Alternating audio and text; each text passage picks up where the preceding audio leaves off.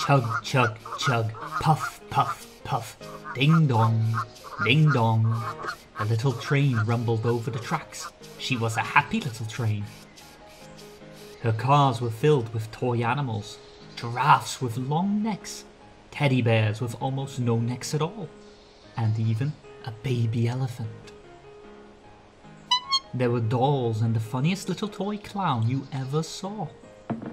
But that was not all. Some cars were filled with good things for boys and girls to eat, and lollipops for after meal treats.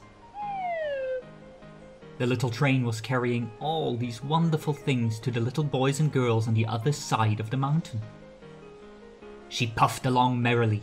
Then, all of a sudden, she stopped. She simply could not go another inch. Her wheels would not turn. Here comes a shiny new engine, said the little clown who jumped off the train. Please, shiny new engine, won't you pull our train over the mountain? Our engine has broken down and the boys and girls on the other side won't have any toys to play with or good food to eat unless you help us. But the shiny new engine snorted. I pull you? I'm a passenger engine. My train has sleeping cars and a dining car with waiters. I pull the likes of you? Indeed not. And off he steamed. Soon the little clown called out, Look, a great big strong engine is coming. Please, big engine, cried all the dolls and toys. Won't you pull our train over the mountain? I have just pulled a train with big heavy machines. I'm a very important engine indeed. I won't pull the likes of you. And the big engine puffed off. The little train and all the dolls and toys were very sad. The big engine is not the only one in the world, cried the little toy clown. Here comes another. He looks very old and tired, but our train is so little. Perhaps he can help us. But the rusty old engine sighed. I'm so tired. I must rest my weary wheels. I cannot pull even so little a train as yours over the mountain. I cannot. I cannot. I cannot.